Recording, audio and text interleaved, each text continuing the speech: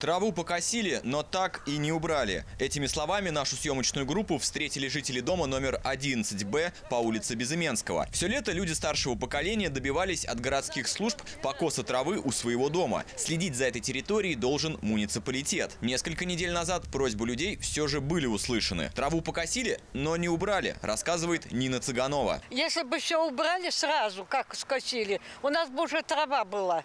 А тут она, вот это все лежит, оно не дает ему расти-то. Но нигде нам такого в городе нет, только наш вот такой участок.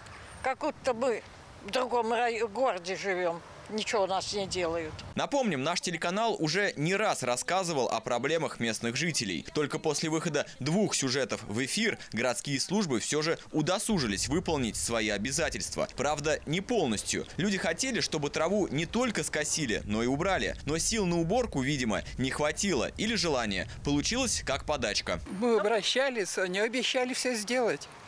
Ну, вы, вот видите, как делают. Скосили, они убирают. До конца не доводят свое дело. Вот, ну, будем надеяться, что уберут. Между тем, во время съемки все же появились сотрудники одной из городских служб. Неподалеку они как раз занимались уборкой скошенной травы. По словам рабочих, траву этого дома на улице Безыменского они скоро уберут. Но почему этого нельзя было сделать раньше, задали жители вопрос. Как оказалось, сотрудники городской службы совсем недавно узнали о необходимости уборки скошенной травы возле этих домов. То есть, когда вот скосили, вы не знали, что надо убрать? только, только вам недавно сообщили об этом, Вот да? нам только сказали, да. Давно? Сегодня вот мы пришли.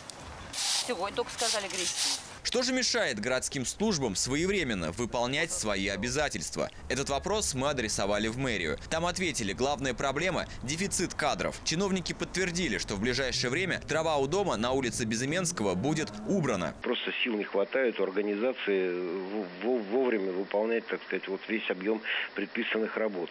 А плюс очень много заявок, э, значит, которые поступают из других районов города. Там действительно не... Мы, мы знаем эту проблему, и в ближайшее время эта трава будет убрана, и проблема будет решена. Мы решили убедиться, что рабочие, которых видели сегодня утром, довели дело до конца. И под вечер позвонили одной из героинь наших материалов. Она была разочарована. По ее словам, траву у дома так никто и не убрал. Ничего не убрали. Даже вот, э, который к нам поворот, даже не подмели. Как там валялось это все, так и валяется. Алексей Домнин, Александр Мажаров, Шестой канал.